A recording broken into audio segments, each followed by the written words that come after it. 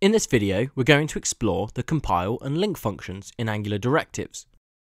They're quite misunderstood and infrequently used.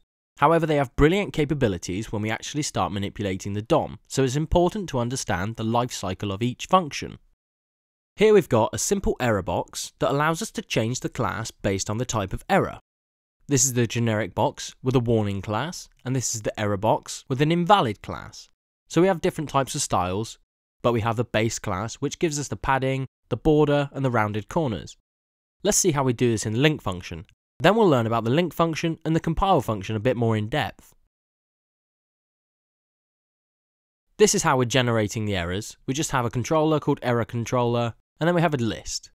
Inside the list is just an array of objects with a particular message. You could imagine that this could be sent back from an API, or it could be part of a hard-coded message for your application.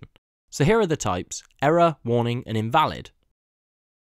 All I'm doing in this demo is simply doing an ng repeat over the errors.list, and I'm binding our error message to the particular div that we're repeating, and then I'm passing in the type as an interpolated string, so this will actually give us the values in the controller, such as warning and invalid. Then we're going to print out the message.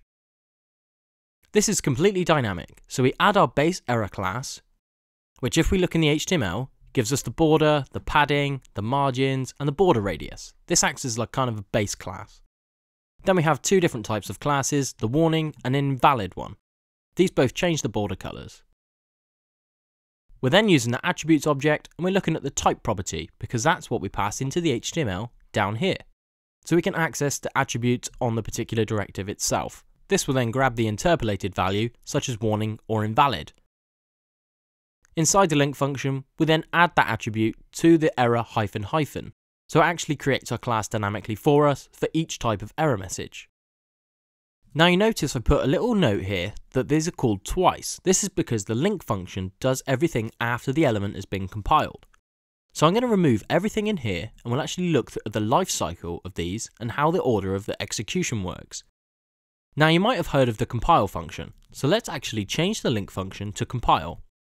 Now it's important to remember that compile doesn't have a scope instance yet because it's actually before the element has been bound to the scope.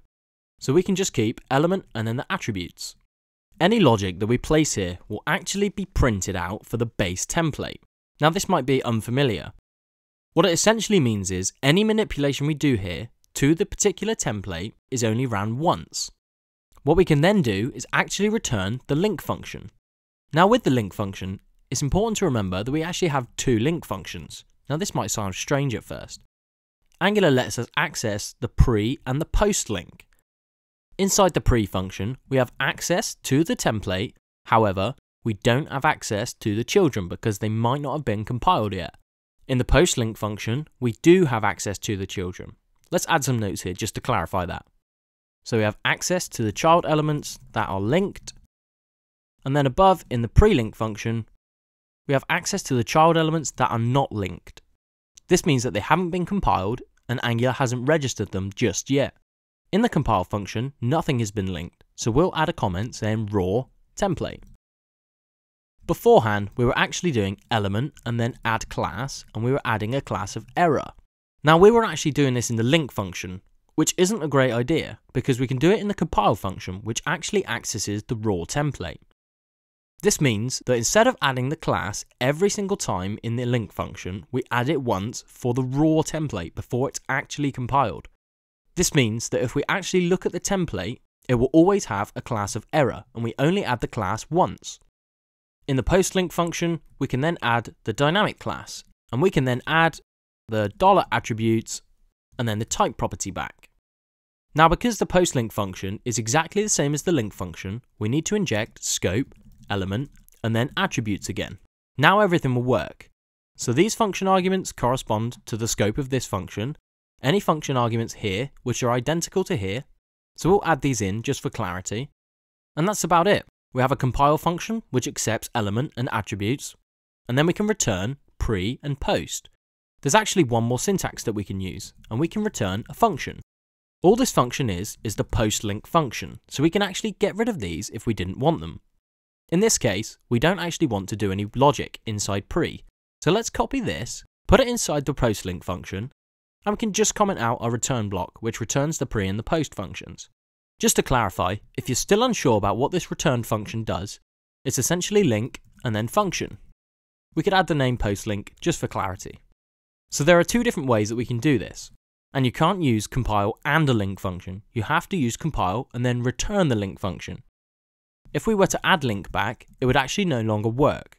So keep that in mind when you're building with compile and link. The final thing we need to do is add these attributes back in so we can have the attributes and then attributes.type. Let's have a look at how these work in the browser. Now when we refresh, we see blue, red and then green. This works as expected.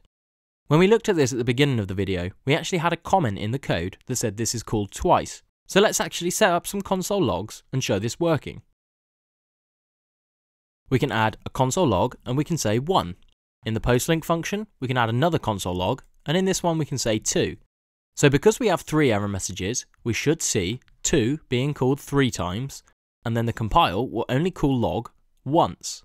So what we should see is 1, 2, 2, 2. When we open up Chrome DevTools, we can see exactly this. We can see 1 and then 2, and it's been called 3 times, which is the 3 inside the circle. So we're actually optimizing Angular at this point. We can use the compile function to mutate the template before we actually link to it. So the flow of this is Angular will grab our template, we can then manipulate it in the compile function, where we add the error class, which we can actually check is present on all of these. So here we have error as a painted style with a border, and here we have error as well, and error as well. And you can see that these special classes, which are modifier classes, have overwritten the border color specified in the error. So we treat error as a base class, and then we essentially inherit and override things that we don't want to use. So now you know how to use the compile and the link function more effectively and understand the different ways that we can use it.